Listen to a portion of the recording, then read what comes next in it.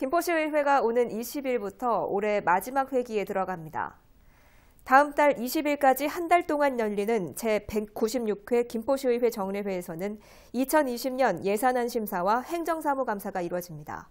시의회는 오는 21일부터 8일 동안 행정사무감사를 진행하고 다음 달 13일 열리는 2차 본회의에서 시정 질문을 이어갑니다.